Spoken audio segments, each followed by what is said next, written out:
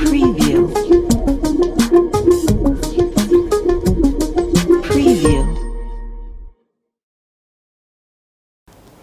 Unit టూలో Indian ఎకానమీలో మనకి సిలబస్ కొంచెం ఎలాబరేటెడ్గా ఇచ్చారు ఇందులో భారతదేశం యొక్క ఆర్థిక విధానాలు అని ప్రస్తావించారు ఇందులో భారతదేశం యొక్క ఆర్థిక విధానాలు అని ప్రస్తావించిన తర్వాత అందులో వ్యవసాయ రంగాన్ని పారిశ్రామిక రంగాన్ని బాగా ఫోకస్ చేశారు సేవా రంగాన్ని అంతగా పరిగణలోకి తీసుకోలేదు సిలబస్లో కానీ వ్యవసాయ రంగము మరియు సేవా రంగాన్ని బాగా ఫోకస్ చేశారు. వ్యవసాయ రంగంలో ఉన్నటువంటి అంశాలు మనం చూస్తే వ్యవసాయ రంగము భారతదేశం యొక్క ఆర్థిక అభివృద్ధిలో దాని ప్రాధాన్యత ఏంటి? అంటే మనం ఏం చదవాలి?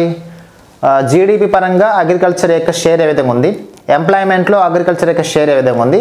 జాతీయ ఆదాయంలో వ్యవసాయ రంగం యొక్క పాత్ర ఏ విధంగా ఉంది? పారిశ్రామిక అభివృద్ధిలో వ్యవసాయ రంగం యొక్క పాత్ర ఏ విధంగా ఉంది? ప్రాంతీయ అసమానతలు తగ్గించడంలో ఆహార భద్రత కల్పించడంలో ఎగుమతుల విషయంలో భారతదేశం యొక్క వ్యవసాయ రంగం యొక్క ప్రాధాన్యత ఏ విధంగా ఉందనే అంశాన్ని మనం ఇక్కడ చూడాలి. తర్వాత వ్యవసాయ స్వభావము పంటల తీరు. బ్రిటిష్ వారి కాలం నుంచి ఇప్పటి వరకు భారతదేశం యొక్క అగ్రికల్చర్లో ఎలాంటి మార్పులు చేర్పులు వచ్చాయి? పంటల యొక్క తీరు తెనులు వాణిజ్య పంటలు కానీ ఆహార పంటలు కానీ ఇలాంటి వాటికి సంబంధించి మార్పులు ఏ విధంగా ఉన్నాయని చదవాలి. వాటితో పాటే భారతదేశం వ్యవసాయ అభివృద్ధికి రూరల్ డెవలప్మెంట్కి ఎలాంటి కార్యక్రమాలు తీసుకుందనే అంశాలు వాటితో పాటు వ్యవసాయ ఉత్పత్తి ఉత్పాదకత ఏ విధంగా ఉందనే అంశాలు మనం చూడాలి. ఇవన్నీ కూడా మనకి జనరల్గా చిన్న చిన్న అంశాలే బేసిక్స్ కిందకి వస్తాయి. ఇక ల్యాండ్ రిఫార్మ్స్ అనేది చాలా ఇంపార్టెంట్ లెసన్ భారతదేశం భూ సంస్కరణకు సంబంధించి ఎలాంటి చట్టాలు తీసుకొచ్చాయి వాటికి సంబంధించిన విధానాలు. హరిత విప్లవం గ్రీన్ రెవల్యూషన్ అంటే ఏంటి? గ్రీన్ రెవల్యూషన్ ఎప్పుడు వచ్చింది? గ్రీన్ రెవల్యూషన్ ద్వారా ఎలాంటి మార్పులు చేర్పులు జరిగాయి? గ్రీన్ రెవల్యూషన్ తర్వాత వచ్చినటువంటి పరి గ్రీన్ రెవల్యూషన్ తర్వాత వచ్చినటువంటి సతత హరిత విప్లవం కానీ దానికి అనుబంధంగా ఉన్నటువంటి రెయిన్బో విప్లవం కానీ అందులో ఉన్నటువంటి అనుబంధ రంగాలు కానీ ఇవన్నీ మనం చదవాలి? హరిత విప్లవంలో వచ్చినటువంటి లాభాలు నష్టాలు కూడా మనం చదవాల్సి ఉంటుంది. తర్వాత వ్యవసాయ విధానాలు నీటిపారుదల. భారతదేశం నైన్టీన్ నైన్టీ త్రీలో కానీ టూ థౌసండ్లో కానీ టూ థౌసండ్ ఫోర్లో కానీ తీసుకొచ్చినటువంటి పాలసీస్ ఏ విధంగా ఉన్నాయి? నీటిపారుదల రంగం భారతదేశంలో వ్యవసాయ రంగానికి ఏ విధంగా ముందుకు వస్తూ ఉందని చెప్పేసి మనం చదువుకోవాలి. అదేవిధంగా వ్యవసాయ రంగంకి సంబంధించి మార్కెటింగ్ వ్యవస్థ కానీ రుణాల గురించి కానీ వ్యవసాయ విత్తం అంటే రైతులకు ఏ విధంగా మనం రుణాలు అందిస్తున్నాం? అదేవిధంగా రైతులు తమ యొక్క పంటను ఏ విధంగా పొలం నుంచి మార్కెట్ తీసుకెళ్తున్నారు. ఆ మార్కెటింగ్ వ్యవస్థ ఏ విధంగా ఉంది?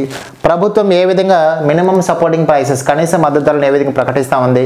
కనీస మద్దతు ధరలు అంటే ఏంటివి? ఏ కమిషన్స్ రికమెండేషన్స్ ఇచ్చారు? ప్రస్తుతం ఎన్ని పంటలకు ఆ యొక్క కనీస మద్దతు ధరలు ఇస్తున్నారు? అదేవిధంగా భారతదేశంలో ల్యాండ్ హోల్డింగ్స్ భూకమతలు ఏ విధంగా ఉన్నాయి? ఆ భూకమతల యొక్క పరిమాణం ఏ విధంగా ఉంది ప్రస్తుతం? ప్రజెంట్ రెండు వేల పదహైదు పదహారు భూకమతల ప్రకారం భారతదేశంలో ఈ ల్యాండ్ హోల్డింగ్ సంబంధించినటువంటి డేటా ఏ విధంగా ఉంది? అదేవిధంగా ఫుడ్ సెక్యూరిటీ ఆహార భద్రత చట్టం అంటే ఏంటి? ఆహార భద్రత చట్టంలో భాగంగా లక్ష్యాలు ఏ విధంగా ఉన్నాయి? ఆహార భద్రత ప్రకారం ఈ నిత్యావసర సరఫరా నిత్యావసర వస్తువుల సరఫరాకు సంబంధించినటువంటి ప్రభుత్వం లక్ష్యాలు ఏ విధంగా పెట్టుకున్నాయి? ఇలాంటి అంశాలను కూడా మనం ఇక్కడ తెలుసుకోవాలి. ఇక్కడ ఎక్స్క్లూసివ్గా మనము ప్రధానంగా మెయిన్గా మనం ఇక్కడ వ్యవసాయ రంగము దాని యొక్క ప్రాధాన్యతకి సంబంధించి కానీ హరిత విప్లవానికి సంబంధించి కానీ అదేవిధంగా మార్కెటింగ్కి సంబంధించి కానీ ఎంఎస్పి మినిమం సపోర్టింగ్ ప్రైసెస్కి సంబంధించి కానీ ల్యాండ్ రిఫార్మ్స్కి సంబంధించి కానీ అదేవిధంగా ల్యాండ్ హోల్డింగ్స్కి సంబంధించి ఆహార భద్రతకు సంబంధించి మనం చాలా డెప్త్గా ఎక్స్క్లూజివ్గా చెప్పుకున్నటువంటి పరిస్థితి మనకి ఇక్కడ గమనించుకోవచ్చు. ఇక పారిశ్రామిక రంగానికి సంబంధించిన సిలబస్లు ఏమిచ్చారంటే ప్రణాళికల కాలంలో పది ఒకటవ పంచవర్ష ప్రణాళిక కాలం నుంచి పన్నెండవ పంచవర్ష ప్రణాళిక వరకు ప్రణాళిక కాలంలో ఎలాంటి పారిశ్రామిక అభివృద్ధి జరిగింది ఎలాంటి నూతన పరిశ్రమలు ఆ కాలంలో ఏర్పాటు చేయబడ్డాయి భారతదేశంలో పారిశ్రామిక ఉత్పత్తి ఏ విధంగా ఉంది దానికి ట్రెండ్ ఏ విధంగా ఉంది so index of industrial production పారిశ్రామిక ఉత్పత్తి సూచిక అంటే ఏంటి? ఆ పారిశ్రామిక ఉత్పత్తి సూచికలో ఎన్ని అంశాలని ఎన్ని వస్తువులని ఎన్ని రంగాలని ప్రధానంగా తీసుకుంటారనే అంశం తీసుకోవాలి. పారిశ్రామిక తీర్మానాలు చాలా important lesson nineteen forty eight నుంచి నైన్టీన్ నైన్టీ వన్ అటువంటి ఇండస్ట్రియల్ పాలసీస్ ఆ ఇండస్ట్రియల్ పాలసీస్ కాలంలో వచ్చినటువంటి ముఖ్యమైనటువంటి తీర్మానాలు తీసుకోవాలి. ఇక ప్రభుత్వ రంగ సం ప్రభుత్వ రంగ సంస్థలు ప్రైవేట్ రంగ సంస్థలు వాటికి ఉన్నటువంటి సమస్యలు. డిస్ఇన్వెస్ట్మెంట్ పెట్టుబడుల ఉపసంహరణ అంటే ఏంటి? పెట్టుబడుల ఉప- ఉపసంహరణ వల్ల ఎలాంటి ప్రయోజనాలు ప్రభుత్వానికి ఉంటాయి? భారతదేశంలో ప్రజెంట్ డిస్ఇన్వెస్ట్మెంట్స్ యొక్క లక్ష్యాలు ఏ విధంగా ఉన్నాయి? స్మాల్ స్కేల్ ఇండస్ట్రీస్ చిన్న తరహా పరిశ్రమలు అంటే ఏంటివి? ఇక్కడ మనం ఎక్స్క్లూజివ్గా చిన్న తరహా పరిశ్రమలతో పాటు ఎంఎస్ఎంఎల్ గురించి కూడా మనం చెప్పుకోవడం జరిగింది. MSMA act two thousand six గురించి. మైక్రో స్మాల్ మీడియం ఎంటర్ప్రైజెస్కి సంబంధించిన చట్టం రెండు వేల ఆరు దాని ప్రకారం ఉన్నటువంటి విధి విధానాలు. ప్రజెంట్ భారతదేశంలో ఎంఎస్ఎంఈల యొక్క పరిస్థితి ఏ విధంగా ఉంది? ఆ డేటా రెండు వేల పదిహేడు పద్దెనిమిది డేటా ప్రకారం ఎంఎస్ఎంఎల్ పరిస్థితి అనేటువంటి విషయాలు కూడా మనం డేటాతో సహా ఎక్స్క్లూజివ్గా ఇక్కడ చెప్పుకున్నాం. ఇక సేవా రంగం మనకి ఇవ్వలేదు కానీ సేవా రంగంలో ఒక పార్ట్ అయినటువంటి ఐటీ పరిశ్రమ భారతదేశంలో ఐటీ పరిశ్రమ ఏ విధంగా ఏర్పడింది? ఐటీ పరిశ్రమ ఏ విధంగా డెవలప్ అయింది? ఐటీ పరిశ్రమ ప్రజెంట్ భారతదేశం యొక్క జీడిపిలో ఏ విధంగా తన పాత్రను పోషిస్తూ ఉంది?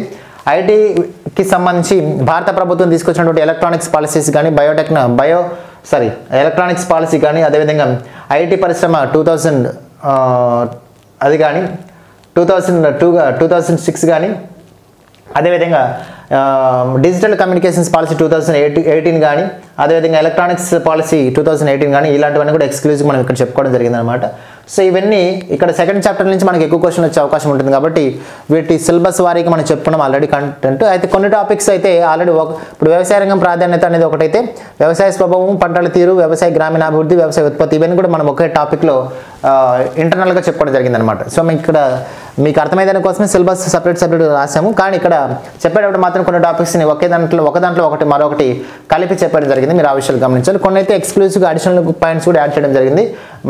రెండు వేల పద్దెనిమిది పంతొమ్మిది నాటికి ఉన్నటువంటి వివరాలు కూడా అందులో యాడ్ చేయడం జరిగిందనమాట సో కాబట్టి మీరు ప్రత్యేకంగా రెండవ టాపిక్ మీద ఎక్కువ క్వశ్చన్ వచ్చే అవకాశం ఉంది కాబట్టి వీటి మీద బాగా ఫోకస్ పెట్టండి.